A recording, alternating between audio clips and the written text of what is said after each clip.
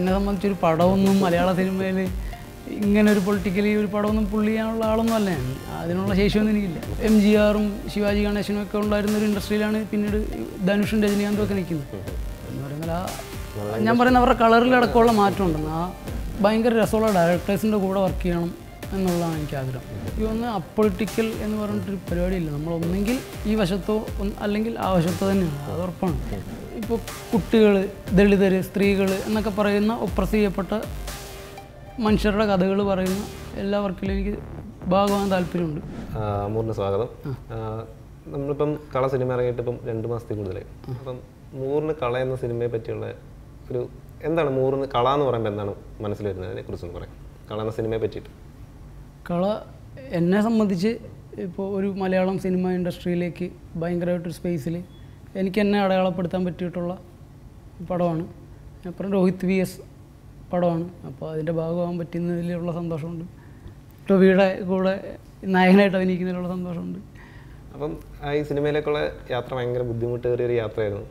അപ്പം അതിലേക്ക് എത്തിപ്പെട്ടതും അതിനുവേണ്ടിയുള്ള പ്രിപ്പറേഷനും അതിനകത്ത് അഭിനയിച്ചപ്പോൾ തന്നെ ഒരുപാട് ബുദ്ധിമുട്ടുകൾ കയറിയിട്ടുണ്ട് അതിനു വേണ്ടി എടുത്ത സ്ട്രഗിൾ എന്തൊക്കെയായിരുന്നു? ഒന്ന് എനിക്ക് എല്ലാം ഭയങ്കര അവൈലബിൾ ആയിരുന്നു. അവരെല്ലാം പ്രൊവൈഡ് ചെയ്യുമായിരുന്നു. ഇപ്പം സമയത്ത് എനിക്ക് ജിമ്മ് ചെയ്യണം എന്നുള്ളപ്പോൾ എന്റെ ബോഡിക്ക് ആവശ്യമുള്ളപ്പോൾ എനിക്ക് ഫിസിക്കൽ ട്രെയിനർ അടക്കം പേഴ്സണലായിട്ട് തന്നിട്ട് ഇർഫാനിക്ക് തന്നെ തന്നിട്ട് എന്റെ ഫുഡ് അടക്കം അസ്കർ ബായ് ടോബിയുടെ അസ്കർ ബായുടെ അടുത്ത് നിന്ന് എന്തൊക്കെയാണ് മേടിക്കേണ്ടത് എന്നുള്ള ലിസ്റ്റ് എടുത്ത് അതൊക്കെ മേടിച്ച് അങ്ങനെ അവർ നോക്കിയിട്ടുണ്ട്. പക്ഷേ എന്റെ ഷൂട്ട് തുടങ്ങിയപ്പോൾ ഞാൻ നിർത്തി. എനിക്ക് പിന്നെ അത് ഇഷ്ടമല്ലാത്തതുകൊണ്ട് ഞാൻ എന്റെ മൂഡിലേക്ക് കയറി എന്നുള്ളതാണ്. അപ്പോൾ അവർ അതിനെ അനുവദിക്കുകയും ചെയ്യും. അപ്പം അങ്ങനെ ഒരു യാത്രയിൽ നമ്മൾ അത് മൊത്തം അഭിനയിച്ച് നന്നായി ഫലിപ്പിച്ചെടുത്തു. എടുത്തെങ്കിൽ കൊള്ളാം. അപ്പം കള എന്ന സിനിമയിൽ പറയുന്ന ഒരു രാഷ്ട്രീയമുണ്ട്. അത് നമ്മുടെ സമൂഹത്തിന് നിലനിൽക്കുന്ന മതത്തിന്റെ മതത്തിന്റെ ആയാലും നിറത്തിന്റെ ആയാലും പണത്തിന്റെ ആയാലും പല വേർതിരിവുകൾ നമ്മുടെ സമൂഹത്തിൽ നിലനിൽക്കുന്നതിന്റെ രാഷ്ട്രീയം തന്നെയാണ് കള എന്ന സിനിമ പറയുന്ന രാഷ്ട്രീയം. അപ്പം നൂറ് പറയാൻ ആഗ്രഹിച്ച രാഷ്ട്രീയം തന്നെയാണോ ഈ കള എന്ന സിനിമയിലൂടെ പറയുന്നത്. ഉറപ്പായിട്ടും. ഉറപ്പായിട്ടുമാണ്. അപ്പം അതെങ്ങനെയാണ്? സംഭവിച്ചത് കോയിൻസിഡൻസ് ആയിട്ട് സംഭവിച്ചാണ് അല്ലാണ്ട് എന്നെ സംബന്ധിച്ചൊരു പടമൊന്നും മലയാള സിനിമയിൽ ഇങ്ങനെ ഒരു പൊളിറ്റിക്കലി ഒരു പടമൊന്നും പുള്ളി ചെയ്യാനുള്ള ആളൊന്നും അല്ല. ഞാൻ അതിനുള്ള ശേഷിയൊന്നും എനിക്കില്ല. ഭാവിയിൽ നമ്മൾ ചെയ്യുമായിരിക്കും ഭാവിയിൽ ചെയ്യോ ആയിരിക്കും അതെ അങ്ങനെ ഒരു സ്പേസ് ഒക്കെ ഉണ്ടാകുമ്പോൾ നമ്മൾ ചെയ്യും. അപ്പം ഈ നമ്മളെ മലയാള സിനിമ ഇൻഡസ്ട്രിയിൽ ദളിത് കമ്മ്യൂണിറ്റി എന്ന് പറയുന്ന മനുഷ്യ വിഭാഗത്തിൽ നിന്ന് സ്ത്രീകൾ അല്ലെങ്കിൽ നായിക കഥാപാത്രങ്ങൾ വളരെ കുറവായിട്ടാണ് വളരെ കുറവാണ്. അപ്പം ഇതെന്തുകൊണ്ടാണ് സംഭവിക്കുന്നത്? അതിനെ പറ്റിയിട്ട് മൂറങ്ങനെ മനസ്സിലാക്കിയിരിക്കുന്നത് എസ്തെറ്റിക്സിന്റെ ആയിരിക്കും. ഇപ്പം നമ്മൾ കുറേ കാലമായിട്ട് നമ്മൾ കണ്ടു ശീലിക്കുന്ന സൗന്ദര്യബോധവും അങ്ങനെ ആയിരിക്കും. അപ്പോൾ തീർച്ചയായിട്ടും പുതിയ ആൾക്കാർ വരണമെന്ന് തന്നെയാണ് വരുമല്ലോ വരുമല്ലോ എപ്പോഴും അത് നടന്നുകൊണ്ടിരിക്കുമല്ലോ ഒരു കാലഘട്ടത്തിൽ ഇപ്പോൾ എം ജി ആറും ശിവാജി ഗണേശനും ഒക്കെ ഉണ്ടായിരുന്ന ഒരു ഇൻഡസ്ട്രിയിലാണ് പിന്നീട് ധനുഷും രജനീകാന്തും ഒക്കെ നിൽക്കുന്നത്. അപ്പോൾ എന്ന് പറയുന്നത് ആ ഞാൻ പറയുന്ന അവരുടെ കളറിൽ അടക്കമുള്ള മാറ്റം ഉണ്ടെന്ന് ആ, അങ്ങനെ ഒരു ലെവലിലേക്ക് മാറില്ലേ മൊത്തം. ഇൻഡസ്ട്രി സ്വാഭാവികമായി അങ്ങനെ മാറ്റം എന്നാൽ ഇതിൽ നിൽക്കില്ല ഇത് പിന്നെ മാറും ഇത് ഞാൻ മാറിക്കൊണ്ടിരിക്കില്ലേ കളയുന്ന സിനിമയായാലും റീസെന്റ് ആയിട്ട് ഇറങ്ങിയ കുറച്ച് പടങ്ങളിൽ ഒരു വന്നൊരു വലിയൊരു മാറ്റമുണ്ട്. അതായത് സർവഗുണ സമ്പന്നനായ ഒരു നായകൻ എന്നൊരു തോട്ടിലായിരുന്നു നമ്മുടെ മലയാള സിനിമ വന്നുകൊണ്ടിരുന്നത്. അതിനെ അതിനെ ബ്രേക്ക് ചെയ്തിട്ട് വില്ലൻ കഥാപാത്രം എന്ന് പറയുന്ന ആൾ നെഗറ്റീവും സർവഗുണ സമ്പന്നനായ നായകൻ എന്നുള്ളതിനെ ബ്രേക്ക് ചെയ്തിട്ടാണ് നമ്മുടെ കള സിനിമ തന്നെ എടുത്താലും അതിനകത്ത് വന്നേക്കുന്നത് ഒരുപാട് കുറവുകളുള്ളൊരു നായകനാണ് അതിനകത്ത് ടോവിനെ അഭി- അഭിനയിച്ച കഥാപാത്രം. അപ്പം ഇത് വലിയൊരു മാറ്റമാണ്. ഈ മാറ്റത്തെ എങ്ങനെയാണ് മുറി വിലയിരുത്തുന്നത്? ഈ മാറ്റം എനിക്ക് തോന്നുന്നു ഒന്നാമത് ഇത് അങ്ങനത്തെ ഒരു എക്സ്പെരിമെന്റൽ പരിപാടിയല്ല ഇത്.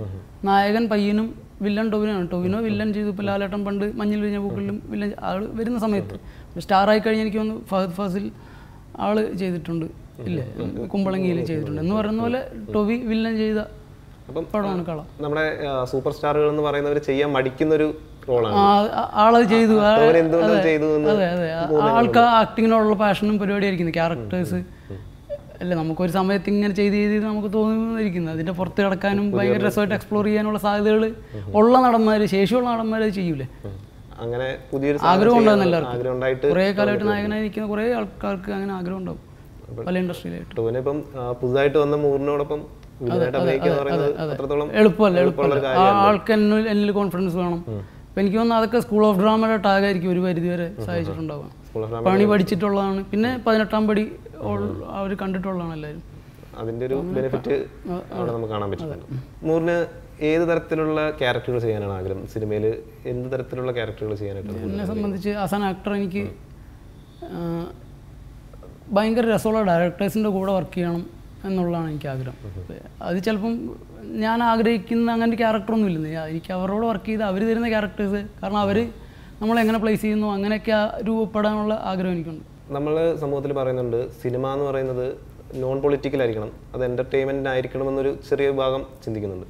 കാരണം മൂർ എങ്ങനെയാണ് അതിനെക്കുറിച്ച് ചിന്തിക്കുന്നത്? എനിക്ക് തോന്നുന്നു അപ്പൊളിറ്റിക്കൽ എന്ന് പറഞ്ഞിട്ടൊരു പരിപാടിയില്ല. നമ്മൾ ഒന്നെങ്കിൽ ഈ വശത്തോ അല്ലെങ്കിൽ ആ വശത്തോ തന്നെയാണ്. അത് ഉറപ്പാണ്. അപ്പോൾ നമ്മൾ ഇങ്ങനൊരു ദളിത് പക്ഷം പിടിക്കുക അല്ലെങ്കിൽ നമ്മൾ അപ്പ- അപ്പുറത്ത് തന്നെയാണ്. അത് വേറൊരു പക്ഷം തന്നെയാണ്. അത് അറിയാണ്ടൊക്കെ ആയിരിക്കും അത് ചെയ്തു പോകുന്നത് കാരണം നമ്മൾ കുറേ കൊല്ലമായിട്ട് നമ്മുടെ ഇൻഫ്ലുവൻസും നമ്മുടെ അറിവൊക്കെ ബാധിച്ചിട്ടായിരിക്കും അത് സിനിമ പൊളിറ്റിക്കലായിട്ട് ആണ് സിനിമ പൊളിറ്റിക്കൽ ആണല്ലോ അതൊരു സൊസൈറ്റിനെ സ്വാധീനിക്കുന്ന ഒരു മീഡിയ ആണ് ഇത്രയും മാസ് മീഡിയ ആണ്. പൊളിറ്റിക്കൽ തന്നെയാണ്. അപ്പം അത് അത് ഏത് ഭാഗത്ത് നിൽക്കുന്നു എന്നുള്ളതാണ് ചിലപ്പോൾ അത് ഓപ്പോസിറ്റ് ഭാഗത്ത് തന്നെ ആയിരിക്കും.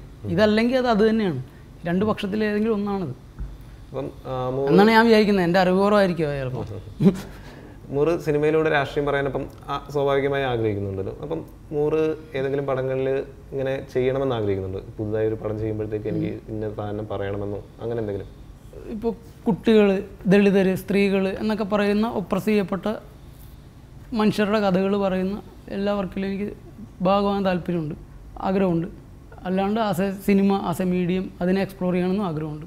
നമുക്ക് വീണ്ടും എന്റർടൈൻമെന്റിലേക്ക് വന്നു കഴിഞ്ഞാൽ ടോവിനയുടെ കാര്യത്തിലും ടോവിനയുമായിട്ടുള്ള മൂന്നിന്റെ എക്സ്പീരിയൻസ് എങ്ങനെയായിരുന്നു? എത്രത്തോളം ടോവിനെ നമുക്ക് വേണ്ടി അഡ്ജസ്റ്റ് ചെയ്ത് തന്നു പുതുതായിട്ട് വന്ന ഒരുപാട് ഒരുപാട് ഒരുപാട്. അപ്പം ആ ഒരു അനുഭവത്തെ പറ്റി ഒന്ന് പറയാം. ഒരുപാട് കാലമായിട്ട് ഒരു ഒരു മീഡിയം കൈകാര്യം ചെയ്യുന്ന ആളാണ്. അറിയുന്ന ആളാണ്. ഓൾറെഡി സ്റ്റാറാണ് അപ്പോൾ ആൾക്ക് എന്നെ ഒന്നും അത്ര ഇല്ല. അത് വേണ്ടി വരുമല്ലോ. ഒരു ആസാന ആക്ടർ ആൾ പൊളി ആക്ടറാണ് അപ്പോൾ അതുകൊണ്ട് തന്നെ ആൾ അത് റിസീവ് ചെയ്യുന്നു. ഒക്കെ ഉണ്ടായിരുന്നു. നമ്മളെ ഉൾക്കൊള്ളുകയും സ്നേഹിക്കുകയും ഒക്കെ ചെയ്യുന്നുണ്ട്. അടിപൊളിയായിരുന്നു. എന്ന് വെച്ചാൽ രാവിലെ ഞാൻ ഇവിടുന്ന് എഴുന്നേറ്റ് സെറ്റിലേക്ക് ചെല്ലുമ്പോൾ രാവിലെ ചിലപ്പോൾ ആറു മണിക്കൊക്കെ ആയിരിക്കും ഷൂട്ട്. അപ്പോൾ ടൊവിയും വരും ടൊവി ഉണ്ടാവും ഞങ്ങൾ രണ്ടും കൂടെ കെട്ടിമറിഞ്ഞ് ഉരുണ്ട് കളിച്ച്. ഞാൻ കളി പോലെയൊക്കെയാണ് എനിക്ക് എൻജോയ് ചെയ്യാൻ പറ്റിയിട്ടുണ്ട് എനിക്ക് ഓരോ മൊമെന്റും എൻജോയ് ചെയ്യാൻ പറ്റിയിട്ടുണ്ട് അതിനകത്ത്. എൽ- ഏത് ആയാലും കേട്ടോ ഞാൻ അഭിനയിക്കുന്ന സമയത്ത് എനിക്ക് എല്ലാ മൊമെന്റും എൻജോയ് ചെയ്യാൻ പറ്റാറുണ്ട്. അതുകൊണ്ട് ഞാൻ അതിനകത്ത് തന്നെ നിൽക്കുന്നത് നാടകമായാലും സിനിമയിലൊക്കെ അപ്പോൾ അതിനകത്ത് നമുക്ക് ഉള്ള അഡ്വാന്റേജ് എന്ന് വെച്ചാൽ ടൊവിനോനെ ഇപ്പോൾ ഒരു സ്റ്റാറൊക്കെയാണ് നമ്മുടെ കൂടെ കളിക്കാൻ വേണ്ടി വരുന്നതെന്നുള്ളതാണ് അപ്പം ഭാവിയിൽ സിനിമകളിൽ തന്നെ കോൺസെൻട്രേറ്റ് ചെയ്യാനാണോ? അതോ നാടകങ്ങളിൽ തന്നെ കോൺസെൻട്രേറ്റ് ചെയ്യാനാണോ? സിനിമ ചെയ്യണമെന്നുണ്ട്. കാരണം ഒന്ന് രണ്ട് പടം ഓൾറെഡി കമ്മിറ്റഡ് ആയിട്ടുണ്ട് കമ്മിറ്റഡ് ആയിട്ടുണ്ട്. ചെയ്യപ്പെടും.